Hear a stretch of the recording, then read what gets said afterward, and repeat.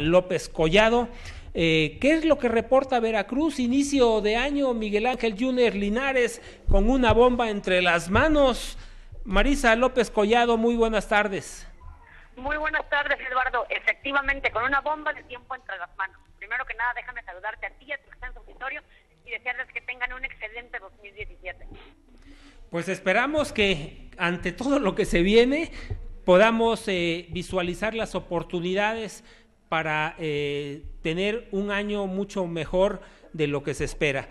Marisa, el año empieza en Veracruz con un gasolinazo, con problemas graves. ¿Qué es lo que ha pasado? ¿Qué has eh, eh, podido captar y cómo se permea la sociedad en el estado de Veracruz?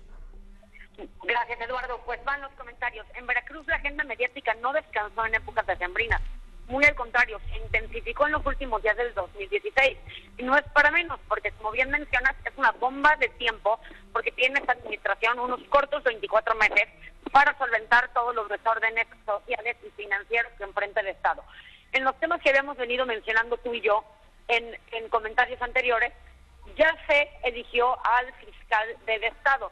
Quedó Jorge Winkler, que, bueno, la preparación digamos que la tenía, pero la autonomía no. ¿A qué me refiero con esto? Es una persona cercana al gobernador, es eh, algo de lo que el gobernador Miguel Ángel Yunes había criticado de, su de su de Javier Duarte de Ochoa, porque Luis Ángel Bravo era amigo del gobernador. Luis Ángel Bravo, recordemos que es el fiscal anterior. Mismo tema con, con Jorge Winkler. La crítica aquí en el Estado está en que no va a haber autonomía en este poder y en estas decisiones. Por otro lado también es el tema del presupuesto del 2017. Fue bastante controversial. Los diputados no pudieron llegar a un acuerdo. Al no poder llegar a un acuerdo, el gobernador Yunes mandó una carta solicitando al Congreso que pudiera asistir él para de cierta forma conciliar la decisión que iban a tomar los diputados. La decisión, llegaron a un acuerdo y lo aprobaron los últimos días del año 2016. Y bueno, con el tema del gasolinazo, hasta el momento no se presenta desabasto en las gasolinas del Estado. Digamos que todavía no llegamos a, temas como Oaxaca, que escuchaba, escuchábamos en unos momentos, ni San Luis Potosí. Muy al contrario, los temas están tranquilos, pero claro, la inconformidad social es enorme. Porque bueno, empezamos con un panorama bastante difícil, con un presupuesto eh, para el 2017 en donde el gobernador Yunes eh, aprobó o ya le aprobaron cómo va a gastar el presupuesto, pero también se puso una cláusula en donde él va a poder meter mano, por así decirlo, a préstamos bancarios, porque bueno, no es para menos con la situación tan, tan difícil que financieramente tenemos. Bueno, pues de alguna manera le exigen a Miguel Ángel Yunes que se ajuste el cinturón, pero por el otro lado le atan las manos a ver si no le amarran también los pies, ¿no? A ver si no me amarran también los pies, Eduardo, porque como bien has comentado tú, yo creo que es una realidad muy compleja y muy diferente a lo que él se esperaba. Una cosa es todo lo que prometió en campaña y otra cosa es todo lo que realmente va a poder hacer con esta administración, porque exactamente tiene las manos atadas y poco falta para que le den los pies. A pesar de que tiene eh, a varios poderes de su lado, porque recordemos que el poder judicial es el presidente es una persona cercana a él, ahora con el fiscal también tiene digamos que, gente de su bando y en el Congreso tiene también a varios diputados panistas que a pesar de ser un consejo muy plurinominal, pues tiene también ya una gran ventaja porque la presidenta del Congreso del Estado es también panista. Pero bueno, ni con todo esto, ni con todo esto eh, tiene el panorama tan fácil como él lo esperaba. Bueno, vamos a ver que en este minigobierno prácticamente dos años, si la logra hacer Miguel Ángel Yunes, seguramente va a ser el candidato a la presidencia de la República por el Partido Acción Nacional. ¿Qué consideras tú, Marisa López Collado?